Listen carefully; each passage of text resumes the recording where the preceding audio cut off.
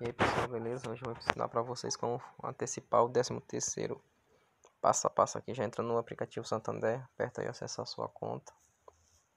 Beleza? Entrou galerinha, digita o seu CPF aí. Você entrar. Só esperar carregar agora. Aí carregou. Vocês vêm aqui ó, nesses três pontinhos aqui do lado esquerdo da tela. Vocês apertam aí. Vocês descem aqui nessa opção empréstimo e vem aqui tem opção décimo terceiro ou renda. Ok? Aperta em cima aí, escolhe aí a primeira parcela ou segunda parcela.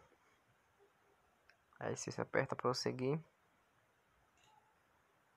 É prosseguir vocês valor contratar que tá lá em cima 1200, né? Vamos pôr aí, aí vem aqui concluir e prosseguir. Muito fácil mesmo, galerinha. Já deixa um like, se inscreve aí, espero que esteja ajudando. Então é isso aí, vocês leem concordam aí, ó.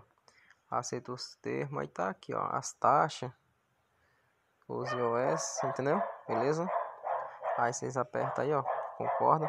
Galera, eu não vou confirmar porque eu não tô precisando agora do meu 13 terceiro, beleza? Então espero que tenha ajudado aí, deixa um like, se inscreve, ok? Valeu!